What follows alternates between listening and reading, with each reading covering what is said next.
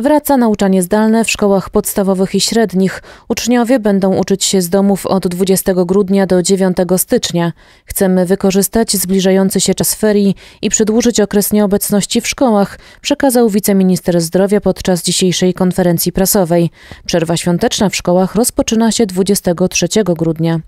Od 15 grudnia nastąpi obniżenie limitu obłożenia lokali w restauracjach, barach, hotelach, w kinach, teatrach, obiektach sakralnych i sportowych do 30%.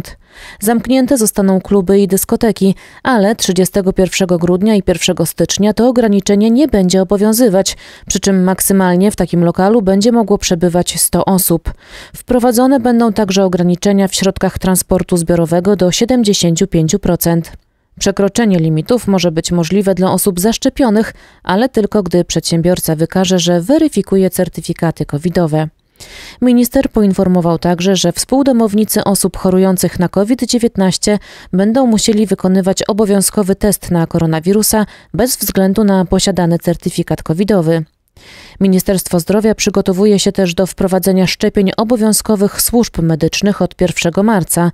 Prace w tej materii prowadzone są również w odniesieniu do służb mundurowych i nauczycieli.